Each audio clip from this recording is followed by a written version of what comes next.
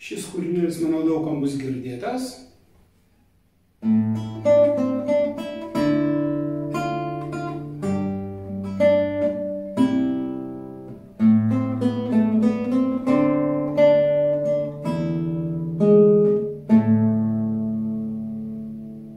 Taigi girdėta tema, gana paprasta. Bosą užgaunam. Dabar kaip G akordas, ar ne? Ir gaunasi kaip C. Galiu trečią pirštą. O galiu tik tai žemiau paleisti.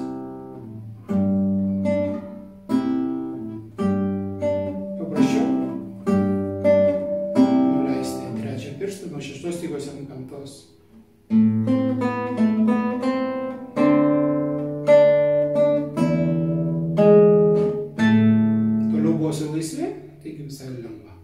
Interaktyvi knyga besimokantiems groti gitarą. Nuoroda apačioje.